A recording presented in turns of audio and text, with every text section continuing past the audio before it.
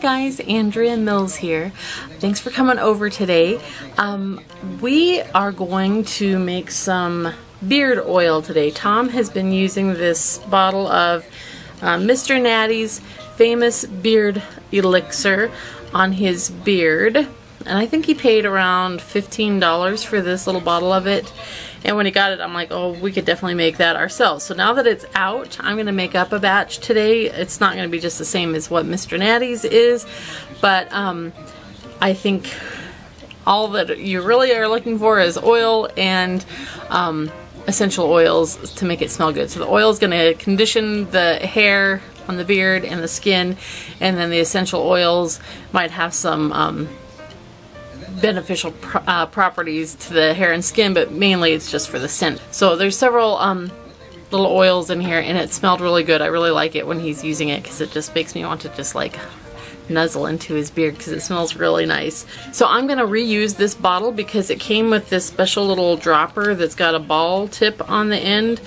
I have my own dropper bottles I could have used, but since this one had this little um, tip that's supposed to make it more precise in the dispensing. I'm just going to reuse this one. So I'm going to take this label off and make my own and then um, mix up my own oils. So I decided to go ahead and use some of this MCT oil which is medium chain triglycerides. It comes from coconut oil but it doesn't um, solidify like coconut oil does. And then I'm going to use some castor oil because it's really good for conditioning hair and making it grow better. Then for my essential oils, I chose pine, um, just because it's got that nice kind of manly smell. Bergamot smells like orange, so it's kind of a nice citrus.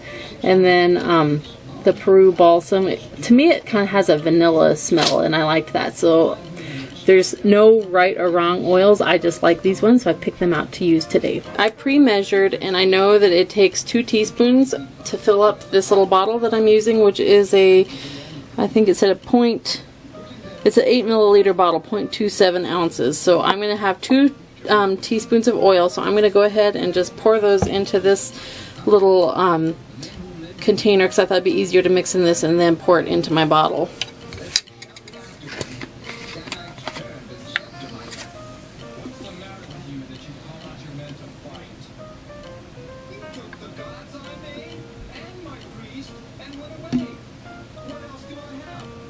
I'm going to use about one and a half teaspoons of the MCT oil and about half of a teaspoon of the castor oil. It's a lot thicker than the MCT oil.